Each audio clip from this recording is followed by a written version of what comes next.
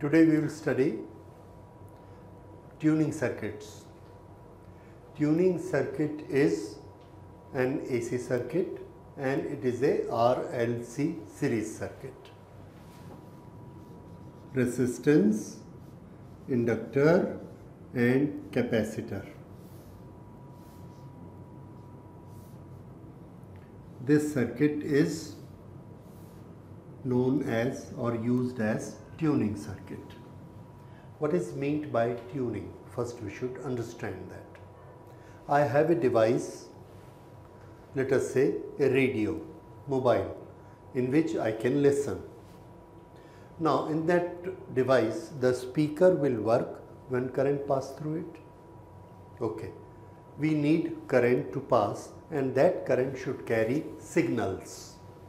Signals to which uh, we want to listen. Okay. These signals are there in the space. These signals are there given to me by the cable. By the cable or in the space. By the wire system or by the wireless system. The thing is that in the space there are millions of such signals signals which are meant for my mobile, for your mobile, for his mobile, for his mobile and for everybody's mobile these signals are there. Again if a cable comes that cable in my television it carries 100 type of signals. One signal for Star TV, one for Zee TV, one for this, one for that. There are hundreds of signals are coming up.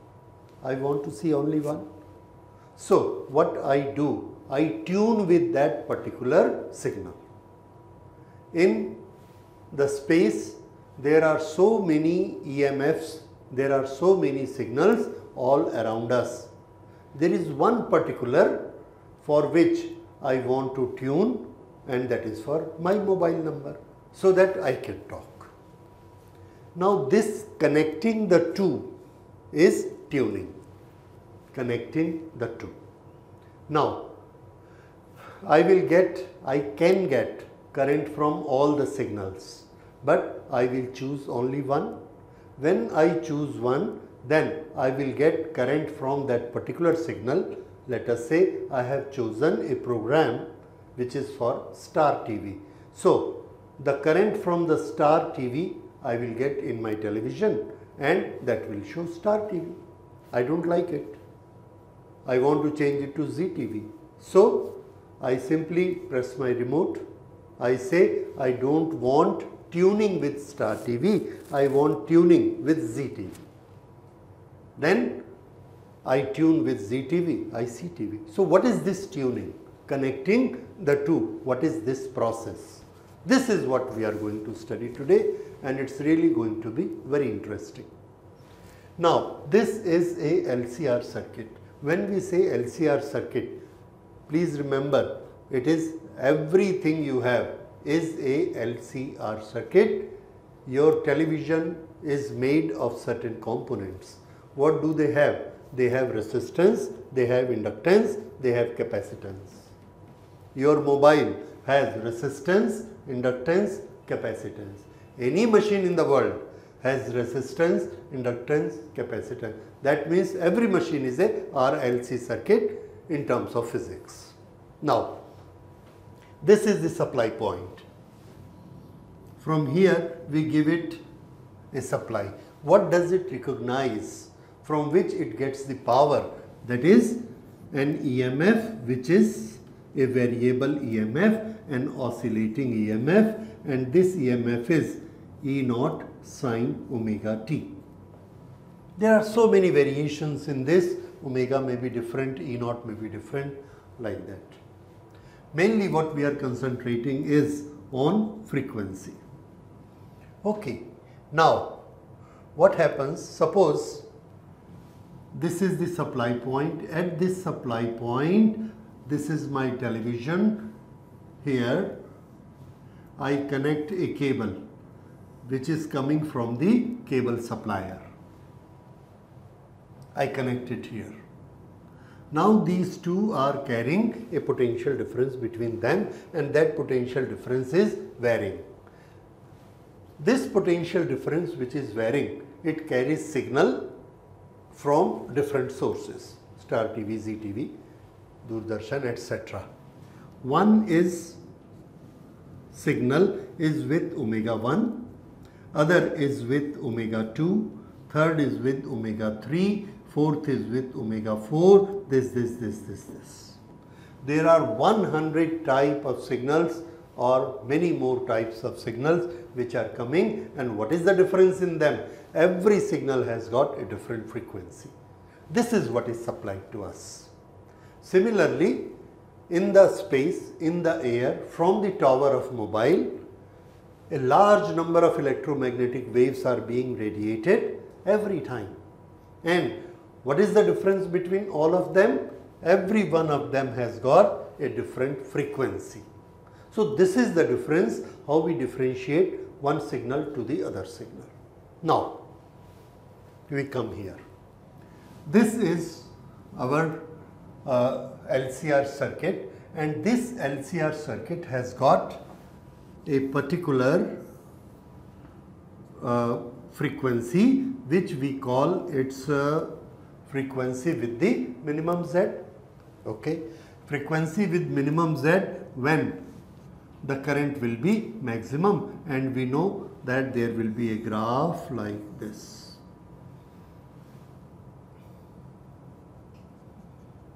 Okay. This frequency we know it is called as natural frequency omega naught. This may have certain value. Now, there are so many frequencies being supplied to us here and all the frequencies are having EMF. Therefore, all the frequencies, all the signals will flow a current. Yes, all will flow a current. Now, so many currents are flowing in this and every EMF is making a current. How much? Current is equal to E upon Z. Every EMF which is being supplied is making a current according to its Z value. Z value of the circuit. And we know Z value of the circuit keeps on changing and it depends upon frequency. That is what we did in the previous lecture. Now, for some frequencies Z is very high, so current will be less. For some Z is very low, current will be high.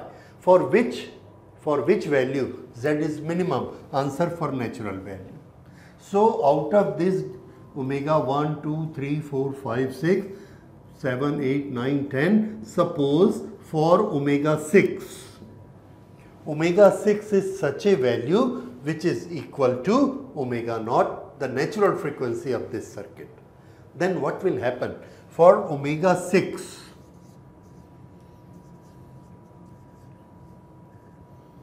like this.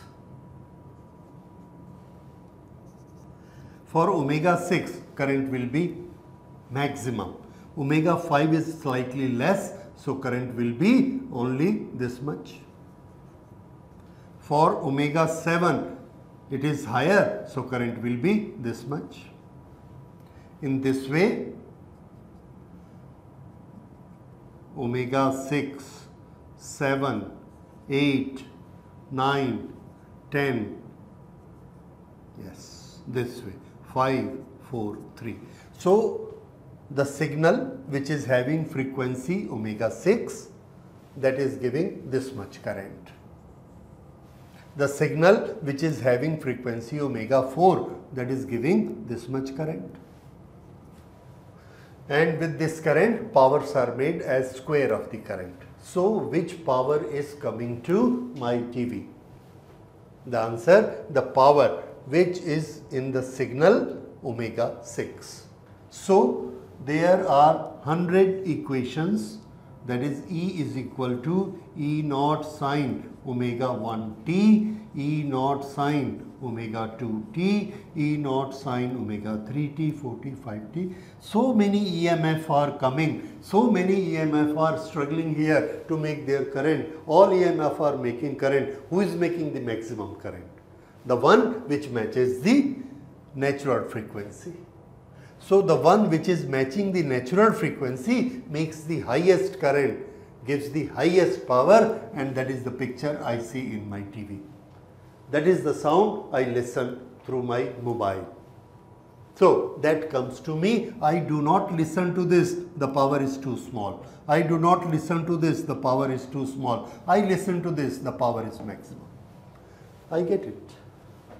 This is how we get the, this process is tuning.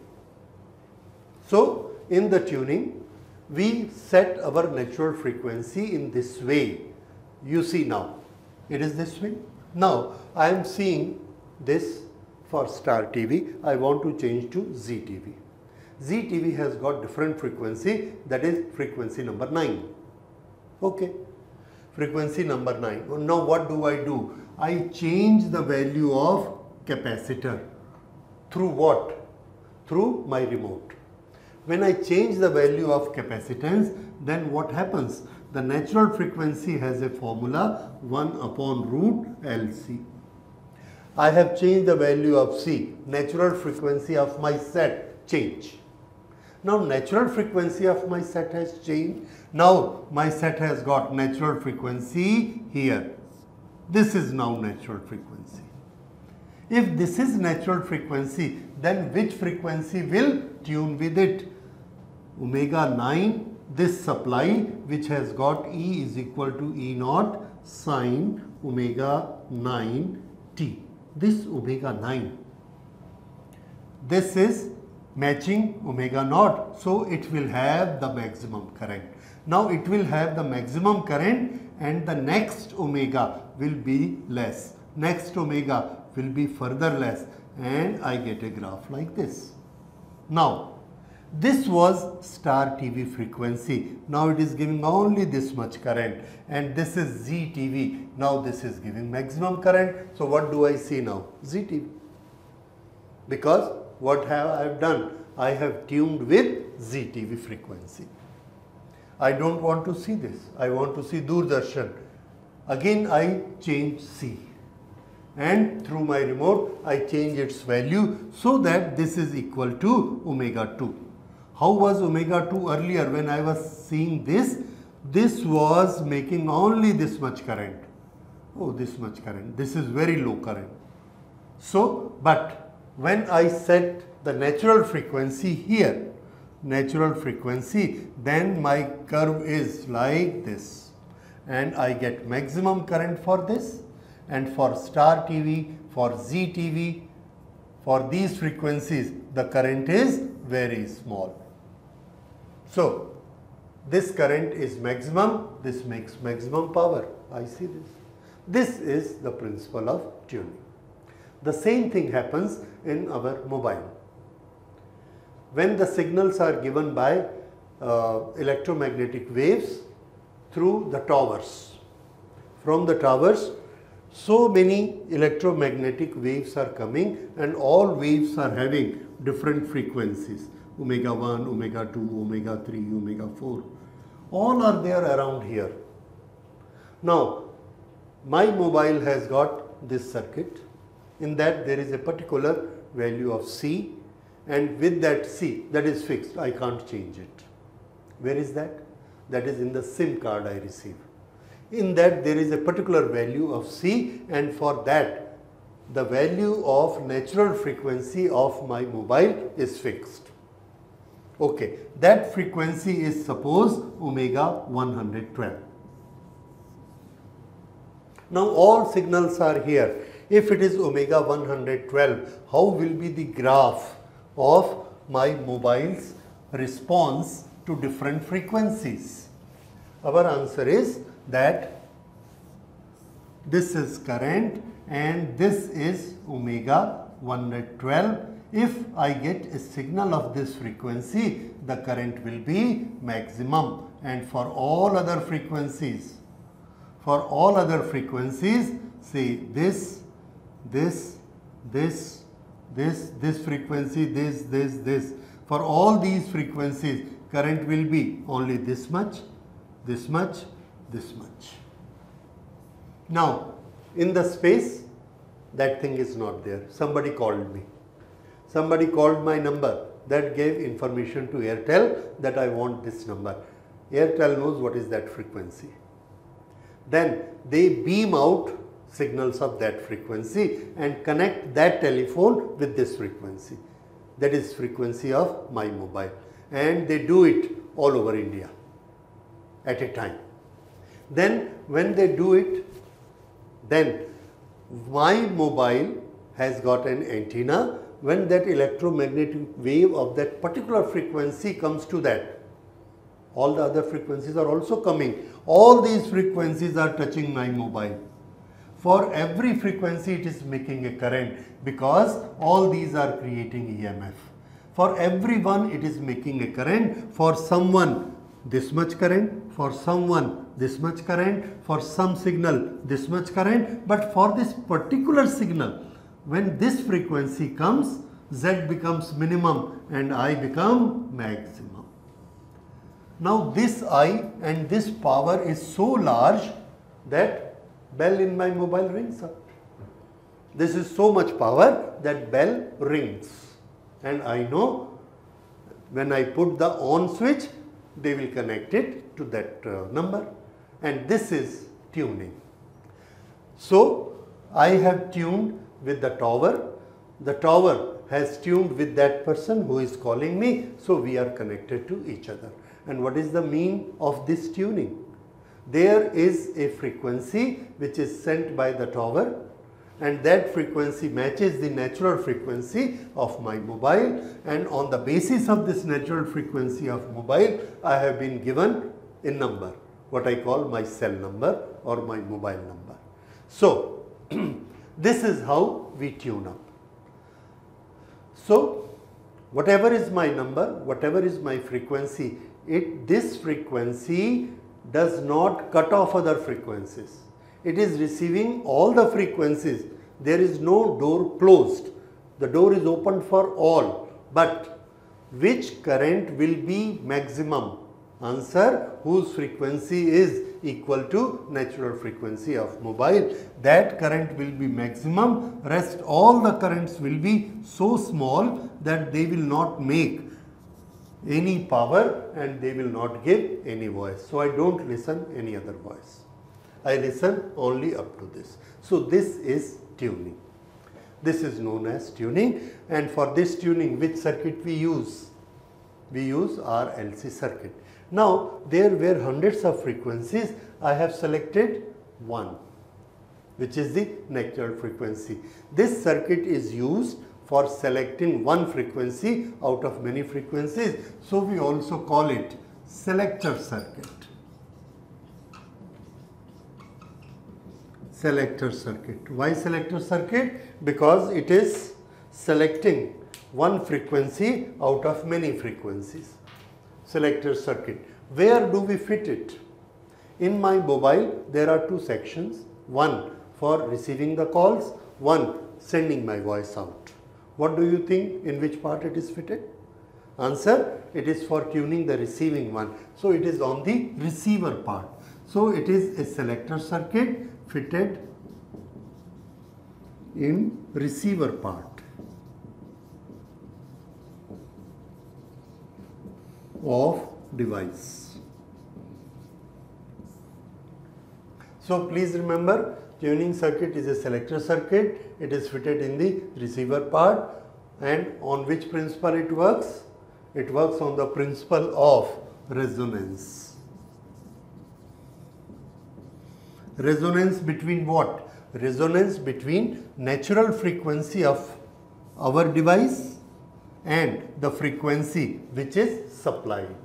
If these two are not equal, then this high current will not get and I need this current only for ring, I need this current only for picture, this current only for sound. If current is less than this, there will be no sound, there will be no picture. So this is known as tuning circuit. Now in the next circuit, in the next lecture we will see what is fineness of tuning, what is quality of tuning and we will study the quality factor of this tuning. Thank you.